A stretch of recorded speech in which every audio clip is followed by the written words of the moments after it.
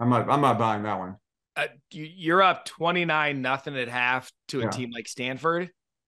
You, if you're if you're everything I've been told, you win that game.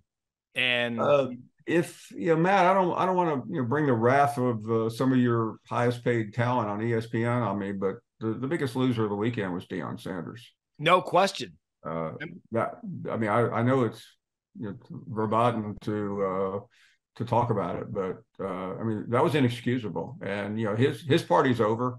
Uh, he he he he took a hit, and you know I'm not really that fascinated by Colorado after that. Yeah, you look at their schedule. The next, the only winnable game based on the schedule is Arizona, who just beat Washington State. I mean, you're looking at now Colorado four and eight. I mean, the, the team that was ranked in the top 15 or top 20 and that got on the national. You know, I'm, I'm sure uh, Shannon Sharpe will probably come after us. say, you guys don't know. You don't know what it's like being on the sidelines.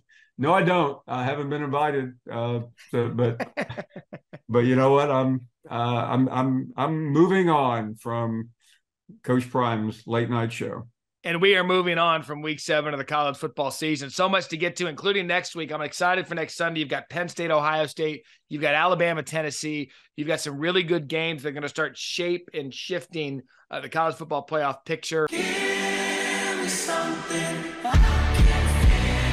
Light a cigarette.